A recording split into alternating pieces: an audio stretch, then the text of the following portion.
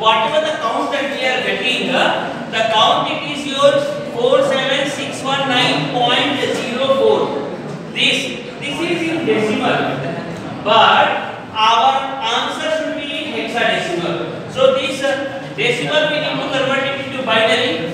So this we have converted into binary, and for binary what we will do?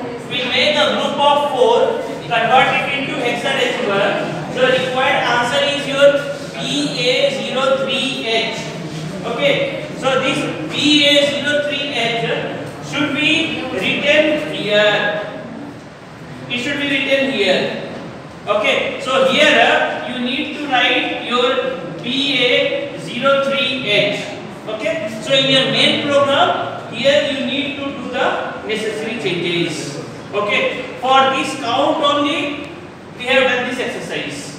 Okay. And this is the calculating the count. What you can do, you can proceed the same, just what same program is there.